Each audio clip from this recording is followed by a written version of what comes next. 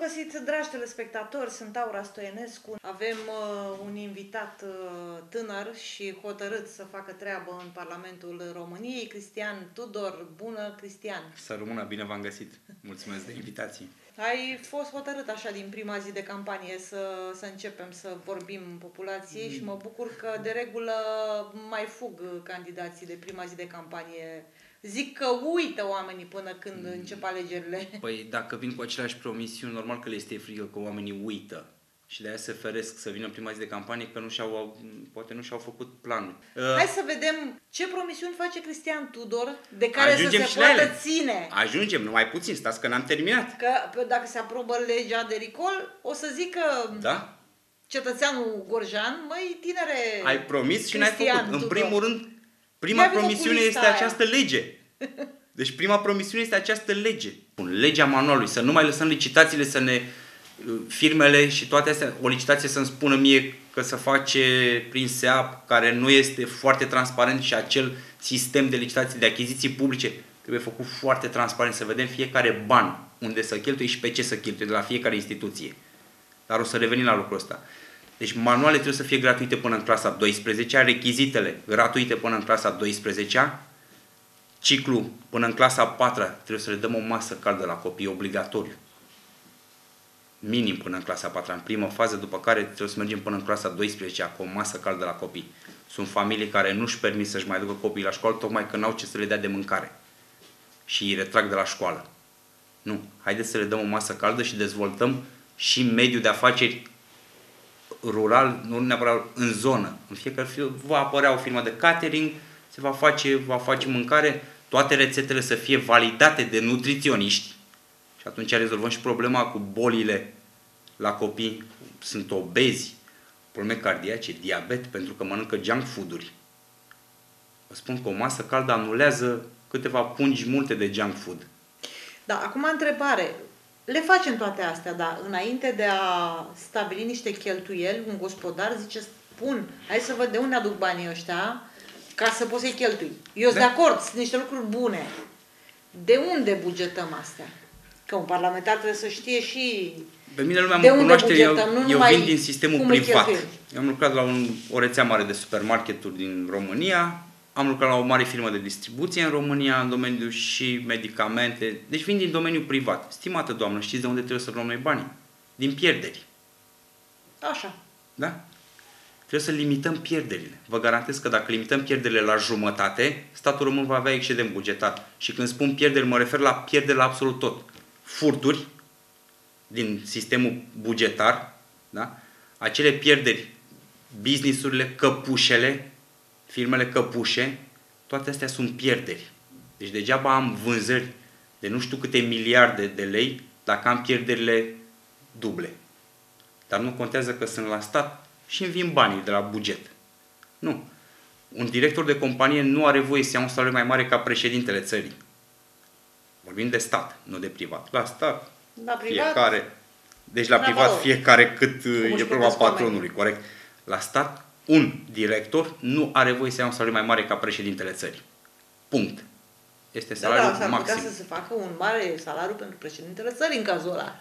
Ar fi în stare oare? da, de ce nu? O să La, zică, deci... nu mai putem să luăm uh, un miliard pe lună, da, că nu are președintele, îi facem și noi. Vă spun sincer, nu m-am gândit că s-ar putea ajunge la lucrul ăsta. Nu știu, să... atunci ar, ar trebui să închidem porțile să plecăm liniștiți. Nu, eu zic mai bine să limităm la o anumită sumă. La o anumită sumă, ok. Am luat acum ca exemplu, da, am luat cât ca exemplu cât are salariul. Cât are el 150 de milioane de lei vechi. E pe aici de mult, zic eu. Nu, este ok. Totuși e președintele țării. Nu contează că îl cheamă Ion, Popescu sau are un alt nume. Este președintele țării, ne reprezintă. Trebuie să-și cumpere un costum scump când merge undeva. Dar nu vi se pare normal? Ba da. Deci este președintele să țării. Să nu ne facă de râs. Exact.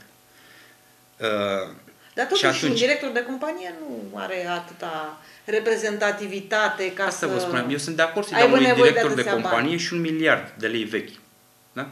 Dar aia să fie prima de succes, rata lui de succes. În momentul în care semnează contractul de manageriat, avem niște puncte foarte clare. Trebuie să ai pierderile limitate la atât, să ai profitul atât, să ai atâți angajați, PMS-ul, adică omul pe post.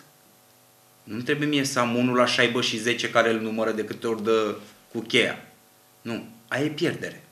Om pe post, aia trebuie. În sistemul de învățământ, de exemplu, știți că există contabili?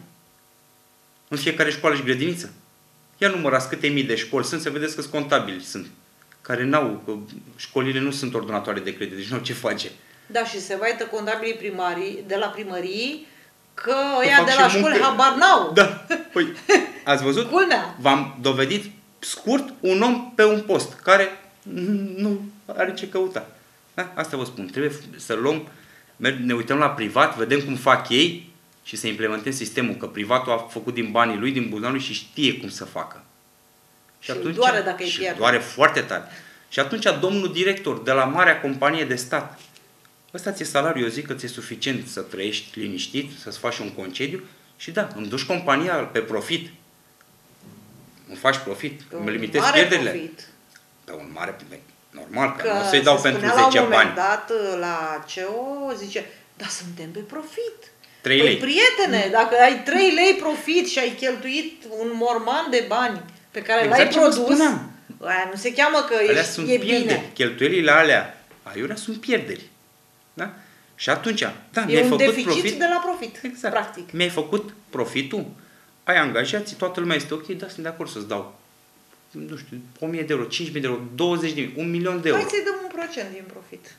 Sau un procent din profit. Să-i da? dăm... Dar peste profit, exact ce spunea și noastră, peste un anumit profit. Păi nu, dacă ai 3 lei, îți dau 1% din 3 lei. Da, sau așa. Și atunci o să-l vedeți pe domnul manager, cum se va gândi de două ori când vine unchiul sau nepotul cumpărăm și mie foaia asta, dar nu mi-o luat cu 5 lei cu tot cumpăr de bicicletă, și mie cu 20 de lei, că trebuie să-mi iau BMW-ul. Am dat, am făcut Hai reclamă. Să mai angajăm niște Hai că uite, mai veni și nepoata și... și să mai luăm, păi dar nu că n-am, lasă-mă mai da afară un strungar, că și așa sunt doi. Păi da. Muncește unul 10 ore și gata, rezolvăm problema. Sau, Face piesa mai strâmbă și după aceea... Sau la mineri, că tot avem o grămadă. N-aș vrea să mă bag în sistemul ăsta, acolo trebuie lăsați experții să vorbească. Nu, nu apropo politicieni. De, A, da. apropo de ce dăm afară, mineri sau, sau secretare? Da, sau dăm afară minerii, păi și așa sunt mulți. Da. Și după aceea, domnule, dar de ce nu merg, uh, România de ce nu exportă lucruri? Păi dacă nu mai ai cu cine să le mai muncești. Nu are cine să mai facă piesa. Că ai dat afară din trei strungari care ți erau necesare, ai dat doi afară să-ți ții două secretare și atunci un strungar nu mai poate, ca obosit. Nu poate să-ți mai facă piesa aia cum ți-a cerut-o străinul, că ăla să uită la virgulă. Și nu mai face trei piese, face una. Face una. Și atunci unde să mai profit? Și aia prostă și o dai la rebuturi. Exact. Deci aici o dă străinul la rebuturi. Da. Că noi nu, noi zicem că e bună. Noi după noi e bună. O vindem la altă societate, tot de stat după asta. Niștită ah. că nu aruncăm. Cam așa merge sistemul. Cam așa merge sistemul. Da? Deci aici trebuie în primul rând să umblăm. Și atunci eu vă garantez noastră că vom avea bani și de masă caldă, și de manuale, și de after school, pentru că avem o mare problemă. Nu mai sunt serviciile. Dinainte de 89, de la 8 la 4. Știa toată lumea. Ba da, la stat. Nici la stat nu mai sunt, credeți-mă. Că eu lucrez, mm. acum sunt la stat. Parte. Și credeți-mă, ajung și la 7 seara acasă. Da? Da? Când sună constructorul care are probleme pe șantier, stai până la 7, 8, 9 seara. Da? Eu nu pot să-mi spun învățătoarei, doamnă, vă rog frumos, mai țineți-mi puțin pe Bogdan uh, de la 12, mai stai și nu atâta o oră cu el Două, prin curte pe acolo, dacă nu termină să ai turnat asfalt. Mai stai și mă cu el. Nu. Trebuie să fiu sigur că uh, copiii noștri trebuie, trebuie să fim siguri că este în siguranță după ce au terminat orele. Și atunci unde îl duci? Îl duci la un after school, în cadrul școlii, unde își mănâncă o masă caldă, își face temele, îl supraveghează un profesor și cel mai important, trebuie să facă sport, să facă mișcare. Pentru că generațiile actuale, într-adevăr, sunt mult mai avansate ca noi. Ei s-au obișnuit, stau toată ziua pe telefoane, pe tablete, nu, trebuie să încercăm să-i mișcăm. Să le din... E altceva când se mișcă interacționează copiii, jocuri de societate. Obligatoriu trebuie să fie lucrul ăsta. Că altfel o să-i pierdem. O să-i pierdem pe internet. Pe internet o să vedem O să rămână pe acolo ancorați. Da. Nu, trebuie să-i punem să interacționeze cu alții, cum ne jucam noi cu mingea în curte, stăteam cu cheia la gât și jucam fotbal în curtea școlii, pe beton, că nu aveam altceva. Poți să crezi că am făcut un proiect uh, european când aveam un ONG și uh, am, uh, printre celelalte cursuri pe care le-am făcut cu ei, mă rog, i-am învățat uh, cum se face un articol de ziar, chiar le-am publicat, le-a plăcut foarte mult, dar trebuia să le facem și niște jocuri pentru mm, mobilizare, da, pentru... Da, da. Sunt, uh, am niște tehnici la practicile astea non formale. Și a pus să joace șotronul Și nu le venea să creadă. Dar știu nici eu cum să joacă. Abia am găsit unul care a știut să deseneze acolo pe, pe asfalt. Cum să face și... forma. Fratele meu, zice, n-am făcut asta de când, cred că, un model mare. Zice, da. vai de capul meu de când n-am făcut așa exact, ceva. Exact. Astea sunt problemele care eu vă spun că se pot rezolva. Dar trebuie cineva să se intereseze de ele și să le găsească rezolvările sunt. La orice problemă are o rezolvare. Asta e de când lumea și pământul. Dar numai să vrei să o rezolvi. Și v-am dat clar. V-am spus, dacă noi reducem jumătatea acele pierderi, eu am zis pierderi în general, v-am explicat mai în amănunt ce înseamnă fiecare. Dacă reducem la jumătate, vom avea excedent bugetar, vă garantez lucrul ăsta. Deci vă garantez lucrul ăsta. N-are cum să fie altfel. Da? Altceva, ce să mai spun? Ce mai... Nu știu, haideți să mai vedem alte probleme. De exemplu, Sunt enorm de multe. În agricultură, da. Sunt Noi ne vedem în... foarte mult în mediul Eu rural și avut, oamenii ne urmăresc cu mare interes. Da. Eu am avut un solar la țară. Am fost nevoit să renunț la el, un solar mare, câteva sute de metri pătrați. Am fost nevoit să renunț la el că n-am avut cu cine munci. Eu nu găsești specialiști și oameni care să vor să muncească. De ce? Pentru că noi Toată încă plătim... de la drept, de aia. Da. și încă mai plătim nemunca. Și o plătim mult. Da. Da? Corect. Acele ajutoare sociale nu trebuie să mai fie în bani. Trebuie să fie în tichete. Și tichetul trebuie să fie la mine, cel care îl dau. Nu trebuie să fie la primar. Tichetul trebuie să fie la mine, eu sunt cetățean, îmi plătesc impozit, acel tichet stă la mine acasă și când vine omul care nu are servici, vine și îmi cere de muncă. Îi dau de muncă, îi dau tichetul. Și atunci o să vină să-mi ceară de muncă. Că altfel primăria nu o să-i dea bani. Este o, o variantă de a nu mai plăti nemunca. Și a reveni în agricultură, să aducem oamenii înapoi în agricultură. Dar pentru asta trebuie să-i școlim. Noi nu mai avem școli profesionale. Se mai încearcă pe aici pe acolo, dar nu se înghesuie copiii la școlile profesionale. Păi de ce nu se înghesuie? Pentru... Nu să facă copilul meu strungar. Da, o mare problemă. Dacă, dacă ar ști cineva să le explice ce înseamnă școală profesională, în acea școală profesională să-i predai nu numai strungărie, cum spuneați dumneavoastră, să-i predai și antreprenoriat. Da? El când termină școala să știe să-și deschidă firma imediat, să nu stea să ducă să lucreze la șaibă. Nu. Își face firmă de strungari, își mai ia doi colegi cu el, se asociază, știu să-și facă firmă, știu să-și facă o pagină pe internet, știu să-și țină o contabilitate primară, știu să-și calculeze, exact ce vorbeam mai devreme, pierderi profit și atunci să vedeți ce bine merge treaba. Și sunt și muncitori și patroni. Și patroni. Și atunci nu-i mai zice nimeni. Ce ești mă strungar? Nu, nu sunt patron, mă scuzați. Da. Deci aici este un punct foarte important la care trebuie să revenim, la școlile profesionale. Și dacă nu o să revenim destul de repede, o să avem o altă mare problemă. Nu mai are cine să învețe. Clar. Da? Pentru că cei care erau buni profesioniști s-au dus în alte părți, unii în alte țări, alte, pe altă lume, da? Și nu mai are cine să învețe. Tehnica a avansat foarte mult, că avansează rapid, deci avem o mare problemă. Și mai e o mare problemă. Se încearcă crearea de școli profesionale, dar nu există ateliere păi, în cadrul păi, școlilor. Asta spun. Păi, trebuie făcută adică, școala profesională cu totul. Faci, adică nu s-au făcut clasele. De clasă, da? Clasele no, s-au no, făcut. No, no, no, no, no. Și am întrebat, bun, și unde învățați voi meserie? Păi, teoretic. Așa, la tablă. Teoretic, la tablă, da. Da, da, da. Mergi cu tractorul, da, dar pe tablă. da. Păi nu, trebuie să-l învățăm, să vadă un tractor nou, ce înseamnă. Tractoarele acum știe toată lumea, merg pe GPS.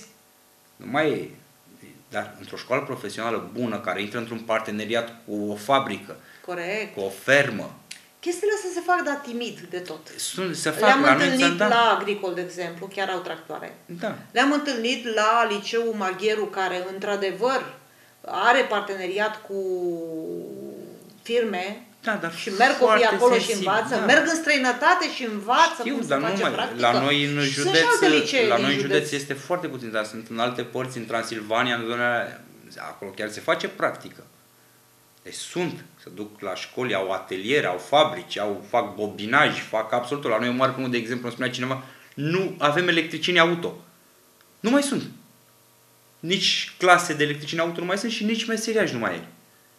Înțelegeți? Deci, de ce? Pentru că au distrus școlile profesionale. Eu țin minte, făceam la atelier, învățam, dau cu pila, făceam. Nu, era altceva, știai să muncești, să bați un cuint în perete. Acum ia tableta și de cu în perete. Dar toate lucrurile astea se leagă de o altă mare problemă a celor care vor să facă ceva în țară. Înțelegeți? Dacă eu, ca ales al cetățeanului, mă duc la un ministru și îi spun, domnul ministru, hai să facem asta, uite, ăsta e proiectul ăsta, pot fi acuzat de trafic de influență. Da. Și atunci vin cu legea lobby-ului. De să delimităm foarte clar ce înseamnă traficul de influență de lobby. lobby care este perfect legal în toată Europa, în America, peste tot. Sunt firme de lobby care cu asta se ocupă. Iau o lege, o pregătesc, o fac, o dau la un ales care să o prezinte, să o facă. Sunt legale, sunt bani care se plătesc, dar pe acte, pe profit. Dar vorbim numai de proiecte legale, nu de alte nebunii de lobby-uri. Da? Și atunci trebuie să dăm neapărat legea lobby-ului pentru transparență. Să ce explicăm înseamnă? cetățenilor ce înseamnă lobby. Eu exact. dacă mă duc, da, haideți să o luăm. Noastră sunteți un primar. Eu, eu știu, sunt un parlamentar. Dar să le spunem lor. Bun. Deci nu sunteți primar, eu da, sunt parlamentar, da? da? Și aveți un proiect pentru o canalizare. Vreți să faceți da. o canalizare sau o aducțiune cu apă și veniți la, la parlamentarul dumneavoastră și spuneți, domnul, uite, ăsta, ăsta e proiectul, te rog eu frumos, mergi la ministrul mediului sau dezvoltării regionale sau de unde trebuie să îți iei bugetul, să ți-l bugetezi acel proiect. Uh-huh. Haideți, vă rog frumos, cu mine. Cum se întâmplă să... Relațiile în momentul de față, știi da, mai bine să-l convingi. Acum, deci în momentul de față, dacă eu iau acel proiect și mă duc eu la domnul ministru și rog frumos, domnul ministru, hai, avem poate o relație mai de prietenie, poate nu-i zic domnule, poate îi zic pe nume. Să... Poate știu mai bine să explic. Pot fi interpretat ca conving. trafic de influență.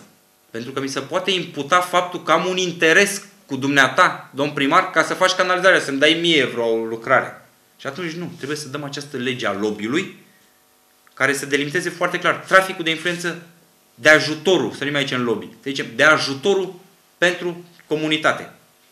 Asta este necesară și destul de urgentă, ca și toate celelalte, dar destul de urgentă.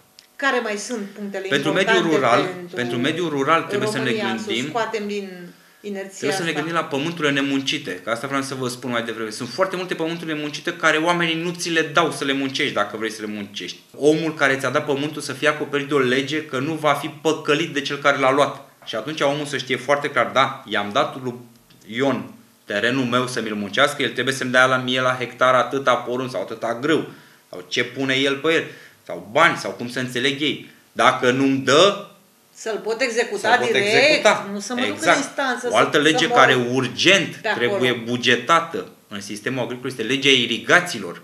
Avem lege și nu avem bugetată, nu avem bani pentru ea, așa se spune, dar bani sunt pentru multe lucruri. Păi dacă nu bugetezi legea irigațiilor, cum vrei să ai agricultură? Și atunci, prin această lege a cooperației, care trebuie să avem foarte clar specificat niște, să fie specificate niște ajutoare pentru cel care înființează cooperativa, să-l ajutăm cu fonduri, fonduri europene, să fie girat de stat, ajutat de stat să dezvolte terenurile agricole. Dar trebuie să explicăm foarte bine, pentru că o să zică, ce mă e iar colectiv? Nu colectiv. Colectivul nu. de pe vremuri, care de fapt era al statului? Da, nu, ăsta nu e al statului, e privat. Tocmai, trebuie deci să explicăm priv... exact. Da, este o cooperativă privată Adică o asociere, o asociere între, între mai mulți oameni sau mulți un singur om care are o potență de moment să pornească business-ul, ei, la un dat e o afacere, cu mai mulți asociați. Numai că eu sunt la care muncesc, chiar ta care mi-ai dat pământul, ești asociatul meu, acționarul care stai acasă și primești banii. E foarte corect. Cam așa e tradusă motamo această lege. Da? Dar dumneata, ca acționar în firma asta, trebuie să fie acoperit de lege. Asta e legea asocierii. Da? Eu să te asigur prin această lege pe tine acționar în cooperativa noastră, vei fi protejat.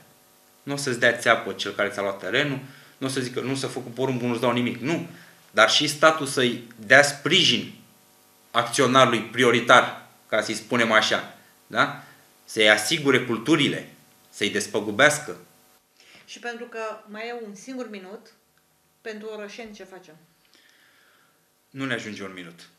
Pentru Orășeni discutăm la emisiune. următoarea emisiune, pentru că este okay. foarte mult lucru, că nici orașele nu sunt cum trebuie să fie.